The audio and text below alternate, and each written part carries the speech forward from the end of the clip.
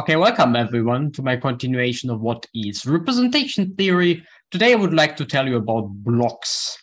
So nowadays, blocks, the notion of a block appears quite well, literally everywhere in representation theory, and maybe even beyond. And this is the origin of the of the notion. So it appears in modular representation theory of symmetric group in a very natural way, and kind of blocks are kind of the Lego pieces, the building blocks, the smallest um, pieces in the setup you need to study. It's really this idea of decomposing a problem, uh, which I'm going to describe now. And of course, as usual, maybe not of course, but uh, certainly I should start with the semi-simple case.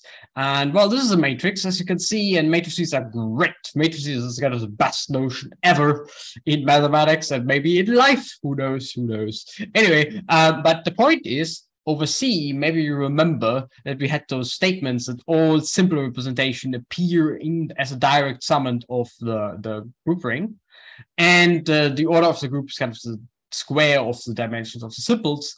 And this really just means that over C, the uh, group ring itself decomposes into matrix blocks.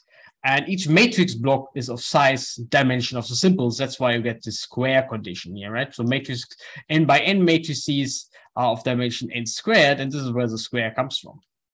So I said again, so in the semi-simple case, um, actually the statement is that the very, very important one is that the group ring itself decomposes over the simples into matrices. So really into matrix blocks. Um, and that's pretty good because matrices, right? Matrices. Do I have to tell you why matrices are good? Uh, I should, uh, but I still don't. So it's just it's just cool. You have matrices, uh, the easiest multiplication structure, which is not completely silly. Um, that's matrices, right? And you want to do the same in characteristic P, so over in modular representation theory.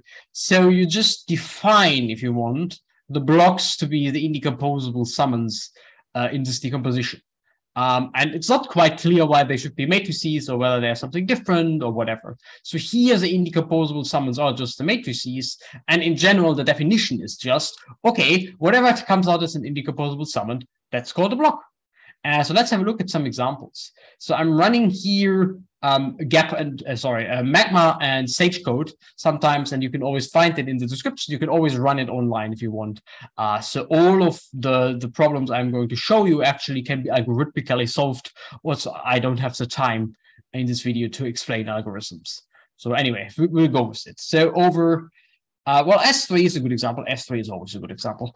Over characteristic zeros, over the complex numbers, this is a character table. You have so this one here, you have three characters, uh, chi1, chi2, chi3. They're just called x1, x2, x3 in uh, this magma code because x1 is just probably nicer, easier to illustrate. Anyway, so you have those three characters, and this is how they look like.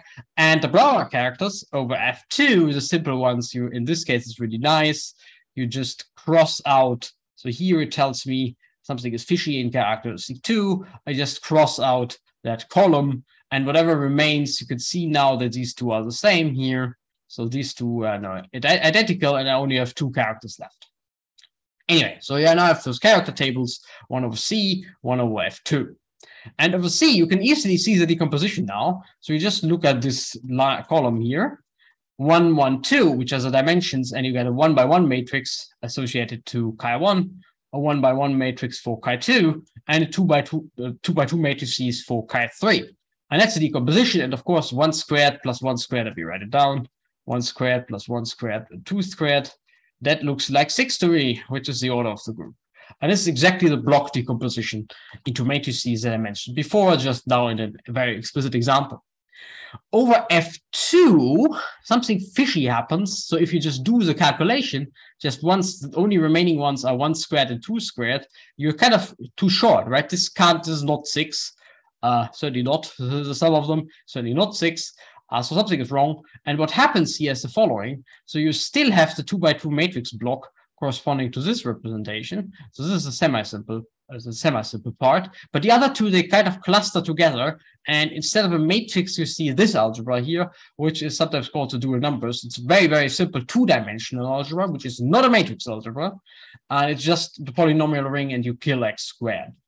So this is really already showing, and this has the indicators, these are the blocks in this case, and this is showing you that actually blocks do not need to be matrix algebras in general.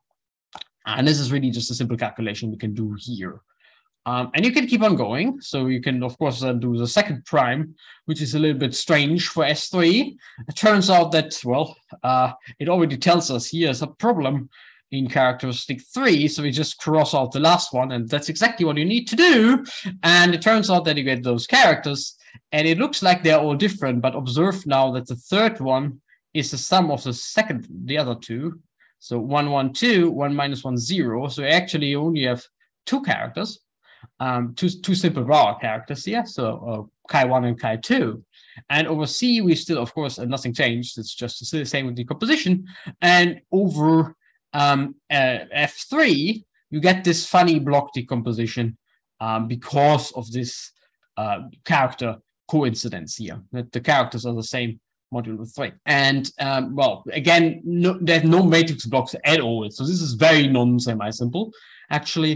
And this is roughly how the blocks look like.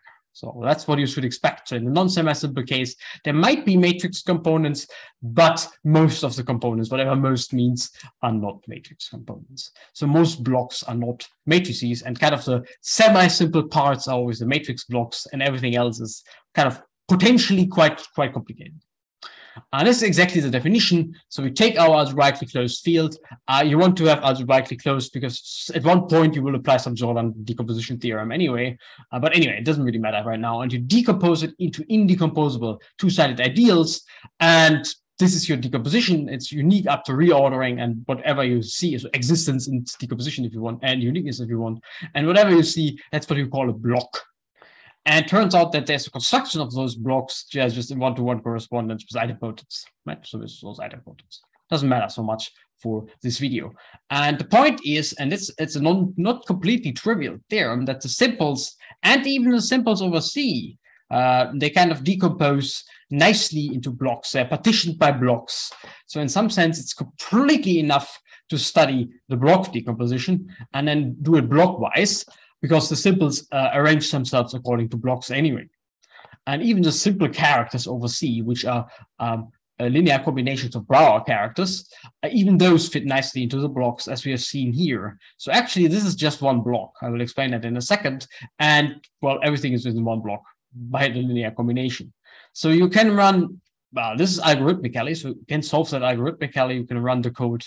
Uh, so here's a symmetric group character table in characteristic five, I'm cheating a little bit here. The first one is of, of course over C, but I tell it it's characteristic five, which is good enough. It's it's a, the, the prime is not dividing three factorial, which is the order of the group. So this is kind of approximating C anyway. And then I have a block over two, which we had before, and I have a block in characteristic three, which we also had before. So here, this is the semi-simple part. The blocks so this is a decomposition of the character table into blocks. First character is in its own block, second character is its own block, third character is its own block.